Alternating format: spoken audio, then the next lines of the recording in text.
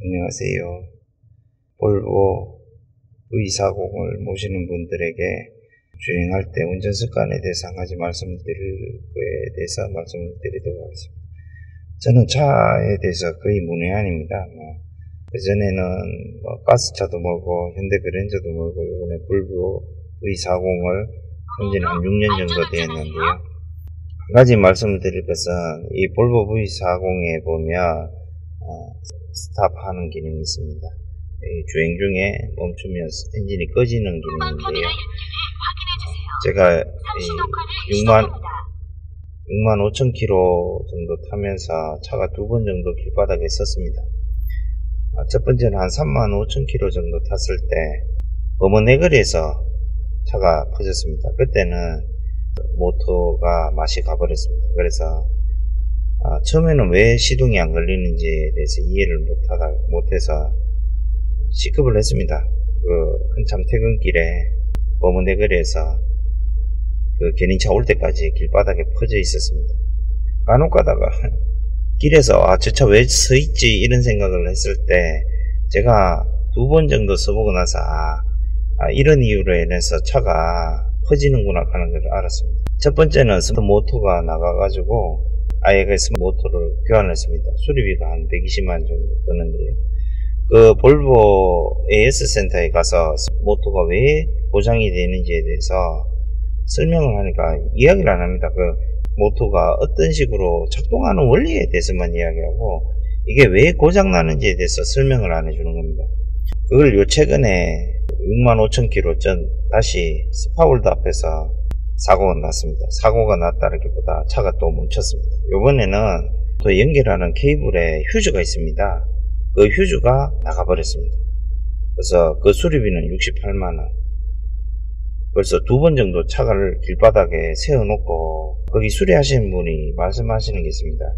주행 중에 엔진이 꺼지는 좋은 기능이 있습니다. 연비도 낮게 해주고 하는 기능이 있는데 여기 보면 여기 A라고 있고 이 계기판에 저기 보면 A라고 뜹니다. 그러면 자체적으로 저 기능이 스탑을 하게 되면 엔진이 꺼졌다가 다시 켜졌다가 하는 기능이 되는데요. 이 기능을 끄셔야 됩니다.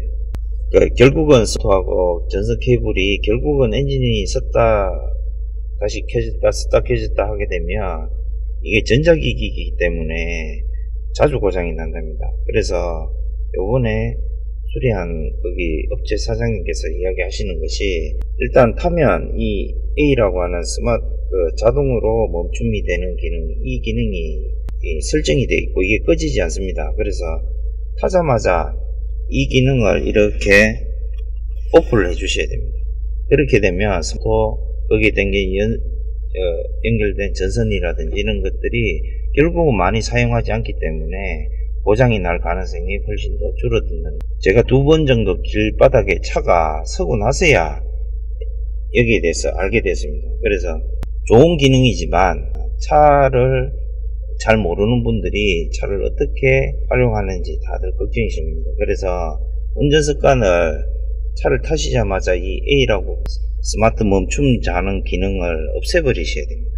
그래서 타자마자 이것을 오프를 하면 시동이 꺼지지 않습니다. 결국은 엔진이 꺼졌다 켜졌다 하는 기능이 자주 생기지 않으면 이, 이 스토가 기능을 고장나는 일이 없을 겁니다. 그래서 볼보 차를 타시거나 외제차를 타시는 분들이 이 작은 습관을 좀 고치시면 아시게 되면 모토가 나가서 차를 길바닥에 세워서 고생하시는 일이 조금 줄어들실 것 같습니다.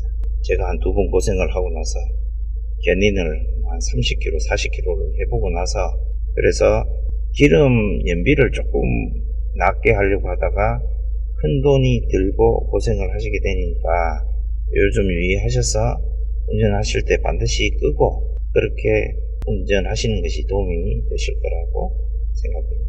고생입니다.